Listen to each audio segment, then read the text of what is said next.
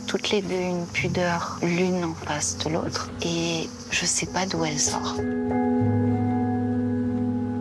Comme tu m'intimidais comme enfant, je me sentais très privilégiée d'être dans ta présence. C'était pas banal. Alors, euh, oh, ça, ça commence bien. Je me suis réveillée à 4 heures de- d'angoisse. Pour ça, Ouais. à un moment donné, tu te reconnais pas. Il y a pas un moment où on s'en fout. Je pense que j'y arrive à le moment où on s'en fout. Il faut mieux juste enlever ses lunettes, comme ça tout est flou. Il me semble que moi je suis toujours tourmentée à cause des culpabilités, des se demander si c'était pas ma faute, si j'aurais pas dû faire autrement à propos de tout. Souvent, je me suis pas sentie responsable.